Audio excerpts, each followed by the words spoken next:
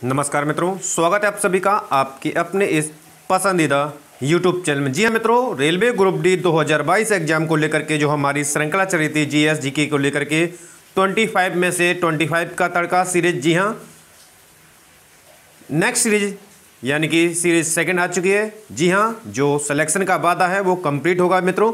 तो यदि आप हमारे चैनल पर पहली बार विज़िट कर रहे हैं तो चैनल को सब्सक्राइब करते हुए पास में जो बेल आइकन है उसको प्रेस करेंगे ताकि समय से लेटेस्ट वीडियो का नोटिफिकेशन आपको मिलता रहेगा। एक एक प्रश्न आपका यहाँ पर इस वीडियो का सिलेक्शन दिलाने वाला है मित्रों। तो वीडियो को आते ही लाइक शेयर कर देंगे। तो हमारा पहला प्रश्न है आपका, मानव द्वारा सर्वप्रथम प्रयुक्त अनाज था, यानी सबसे पहले किस अनाज का प्रयोग किया गया था मानव के द्वारा? ऑप्शन आपके सामने दिए हुए हैं, पर्याप्त समय है, आपके लिए 10 सेकंड का समय दिया जाएगा, ठीक है? और आप उसमें अपना सही आंसर लगाने की कोशिश करेंगे। तो यहाँ से जो राइट आंसर है, यानी सबसे पहले मानव के द्वारा जिस अनाज का प्रयोग किया गया था, वह आपका जौ था, ठीक है? यानी कि आंसर हो जाएगा सी करेक्ट हो जाएगा, ठीक है? अगला प्रश्न आपके लिए। एक जुते हुए खेत की खोज की गई, कहाँ पर की गई थी? ऑप्शन दिए हैं आपके सामने। बेहतर तरीके से ऑप्शन को रीड करेंगे, प्रश्न को रीड करेंगे, कोई भी गलती नहीं करेंगे, क्योंकि सीबीटी एग्ज़ाम में जरा सी चूक से ही प्रश्न गलत हो जाता है, ठीक है? तो जुते हुए खेत की जो खोज की गई थी, वो कालीबंगा में की गई थी, यानी कि आंसर यहाँ से आपका बी करेक्ट हो जाएगा।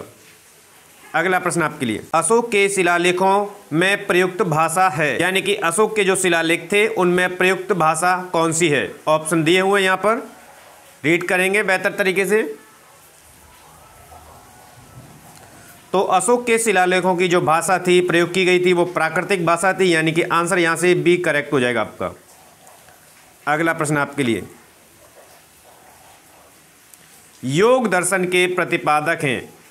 योग दर्शन के प्रतिपादक हैं। एक एक प्रश्न इंपोर्टेंट है, आपके एग्ज़ाम को दृष्टिगत रखते हुए मित्रों तो जी हाँ तो योग दर्शन के जो प्रतिपादक हैं, वो पतंजलि हैं। यहाँ से आंसर जाएगा ऑप्शन ए की ओर, यानी ऑप्शन ए बिल्कुल से करेक्ट हो जाएगा आपका। अगला प्रश्न आपके लिए, चोलों की राजधानी थी। चोलों की राजधानी क्या थी? इस तरह भी प्रश्न बन सकता है, ठीक है? ऑप्शन दिए हुए हैं।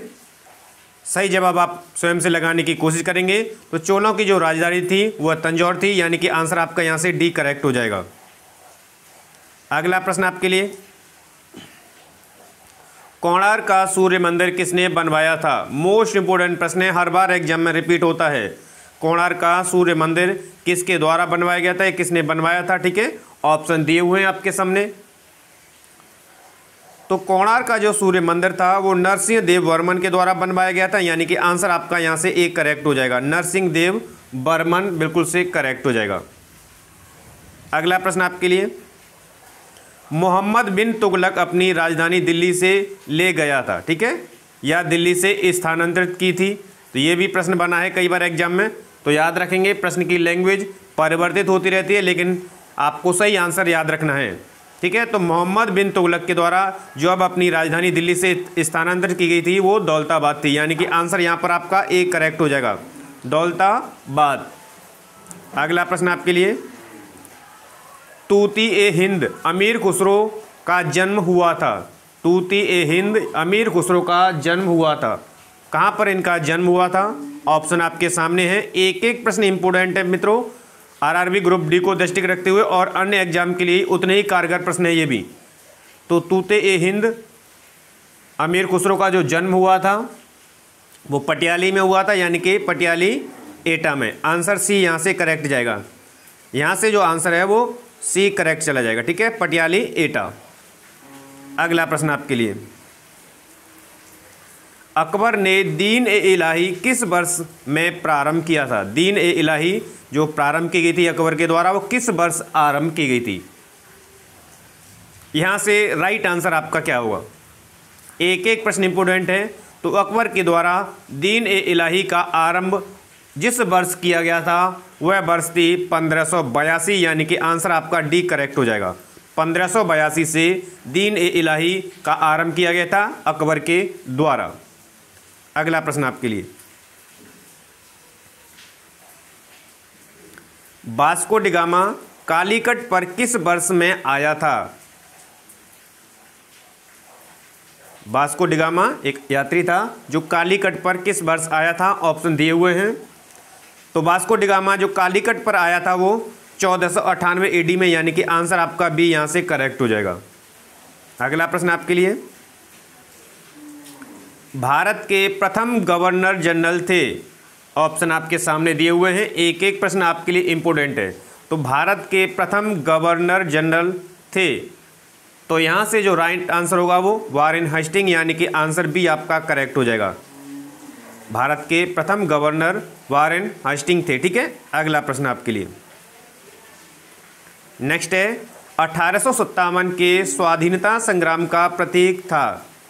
अठारह सौ सत्तावन की जो स्वाधीनता संग्राम हुआ था, उसका प्रतीक को लेकर के प्रश्न पूछा गया है। तो यहाँ से जो राइट आंसर है, कमल और रोटी, ठीक है? अठारह सौ सत्तावन के स्वाधीनता संग्राम का जो प्रतीक था, वो कमल और रोटी थी। आंसर ए करेक्ट हो जाएगा आपका। अगला प्रश्न आपके लिए। निम्न में से कौन भारतीय कांग्रेस की अध्यक्ष रही? इनमें से कौन थी जो भारतीय कांग्रेस की अध्यक्ष रही थी? ऑप्शन रीड करेंगे। और तुरंत देखिए प्रश्न को और ऑप्शन को देखते ही तुरंत जवाब लग जाना चाहिए दस सेकंड के अंतर्गत ही, ठीक है? तो राइट आंसर आपका जाएगा एनी बेसेंट यानी कि आंसर सी यहाँ से करेक्ट है। अगला प्रश्न आपका, जलियांवाला बाग हत्याकांड हुआ था? तिथि आपसे पूछी गई है, क्योंकि तिथि को लेकर के एक प्रश्न आपका निश्चित रूप से बनता ही है, ठीक है? तो जलियांवाला जो हत्याकांड है वो कब हुआ था? या इस तरह भी प्रश्न बन सकता है।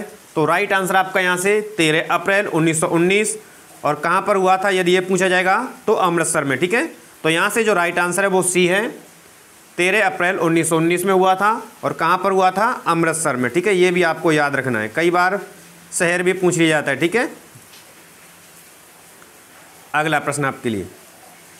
पृथ्वी की जुड़वा बहन कहे जाने वाले ग्रह का नाम क्या है? जिसे पृथ्वी की जुड़वा बहन या भगनी कहा जाता है, ठीक है? तो यहाँ से जो राइट आंसर है, वो आपका ऑप्शन बी यानी कि शुक्र है। शुक्र को पृथ्वी की जुड़वा बहन या उसकी भगनी कहा जाता है, ठीक है? अगला प्रश्न आपके लिए।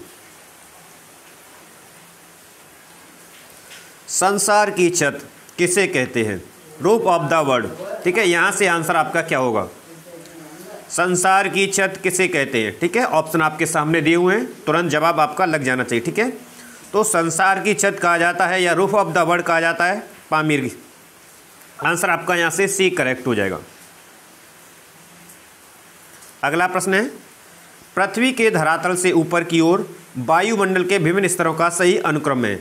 पृथ्वी के धरातल पर जो वायुमंडल के स्तर होते हैं चोम मंडल है, समताप मंडल, आयन मंडल और मध्य मंडल, इनका एक क्रम, सही क्रम पूछा गया है, ठीक है?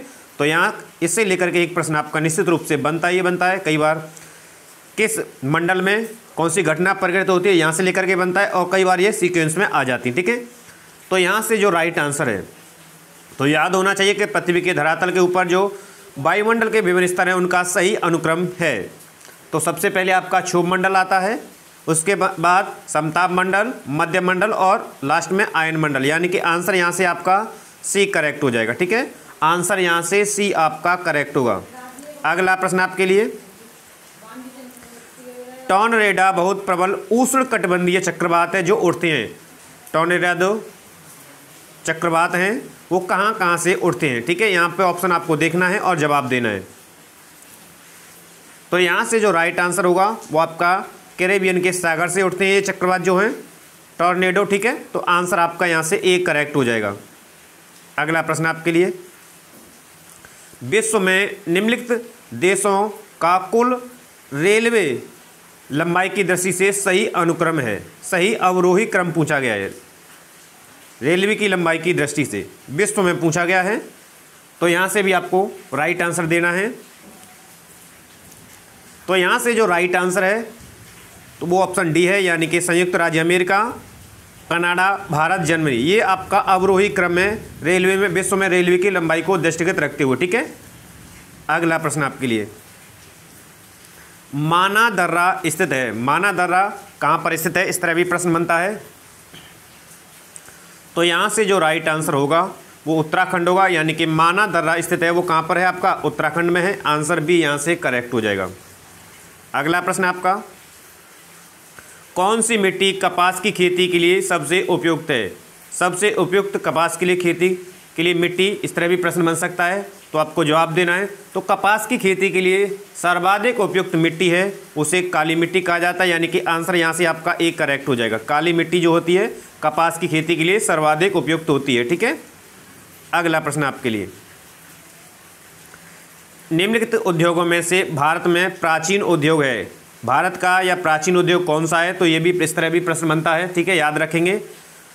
तो इनमें से बताना है, ये दिए हुए हैं। तो यहाँ से जो राइट आंसर है, आप तुरंत समझ जाएँगे। गांधी जी का चरखा, यानी कि सूती वस्त्र जो है, भारत में प्राचीन उद्योग है, ठीक है? अगला प्रश्न आपके लिए। निम्न में से कौन सही सुमेलित नहीं है? ये विशेष का ध्यान रखना है हाँ और ना वाले में। ये पर्वत और दर्रे दिए हुए हैं, ये राज्य कहाँ पर पाए जाते हैं, ठीक है? इसको रीड करेंगे और जवाब देंगे।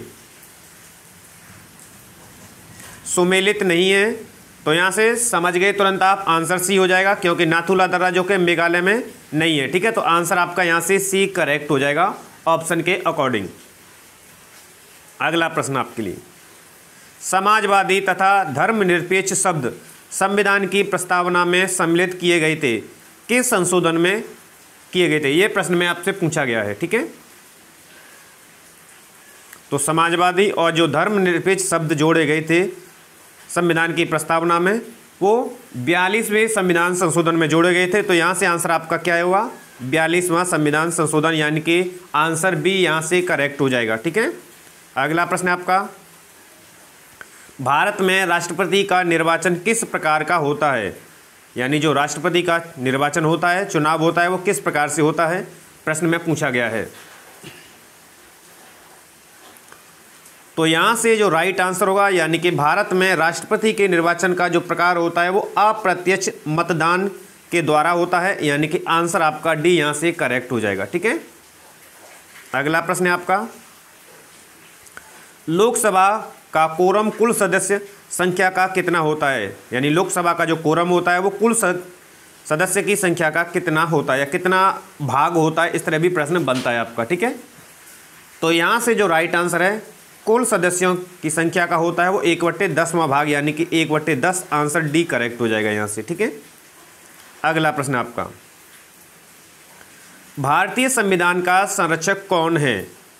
भारतीय संविधान का संरक्षक कौन होता है? तो यहाँ से इस तरह भी प्रश्न बनता है, ठीक है? एक एक प्रश्न आपका इंपॉर्टेंट है। विभिन्न एग्ज़ाम को दृष्टि रखते हुए रेलवे ग्रुप डी आदि को ध्यान में रखते हुए तो भारतीय संविधान का जो संरक्षक है वो सर्वोच्च न्यायालय होता है, यानी आंसर आपका यहाँ से जाएगा डी ऑप्शन की ओर। ठीक है? अगला प्रश्न आपका। भोजन, काम और उत्पादन का नारा निम्नांकित में से दिया गया था। तो ये पंचवर्षीय योजना दी गई है, या इस तरह भी प्रश्न बन सकता है कि किस पंचवर्षीय योजना में यह नारा दिया गया था। ठीक है? तो यहाँ से आपको विशेषकर ध्यान रखना है। ठीक है?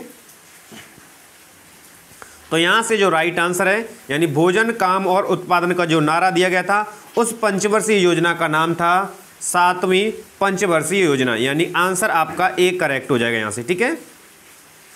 अगला प्रश्न आपके लिए। भारतीय रिज़र्व बैंक का लेखा वर्ष अकाउंटिंग ईयर है, या किस ईयर को अकाउंटिंग ईयर रखा गया है, ठीक है? तो यहाँ से आपका राइट आंसर क्या होगा? लेखा वर्ष, भारतीय रिज़र्व बैंक, आरबीआई का जो अकाउंटिंग ईयर है। राइट आंसर आपका जाएगा ऑप्शन बी की ओर, जुलाई, जून, ठीक है? अगला प्रश्न आपके लिए। भारत में गरीबी को परिभाषित किया गया है, यानी कि भारत में गरीबी की जो डेफिनेशन है वो किस प्रकार से दी गई है, ठीक है? ऑप्शन आपको देखने हैं। तो यहाँ से जो राइट आंसर होगा तो यहाँ से जो राइट आंसर है वो आपका सी ऑप्शन है। कैलोरी प्राप्ति के आधार पर ही भारत में गरीबी रेखा को परिभाषित किया गया है मित्रों। तो ये थे मित्रों टुडे के सबसे अहम और selected RRB group D exam के लिए सबसे मोस्ट इंपोर्टेंट जीके जीएस के प्रश्न। आशा करते हैं प्रश्नों की श्रृंखला आपको पसंद आई होगी। तो प्रश्नों की श्रृंखला पसंद आए थे मोर देन लाइक और शेयर करेंगे वीडियो को। और अभी तक आपने चैनल को सब्सक्राइब नहीं किया है तो अपनी तैयारी को बेहतर बनाने के लिए और अपना रिविजन करने के लिए चैनल को सब्सक्राइब करते हुए पास में बेलाइकन प्रेस ज़रूर करेंगे मित्रों। मिलते हैं हम नेक्स्ट वीडियो के साथ, तब तक आप सभी को नमस्कार है। धन्यवाद मित्रों।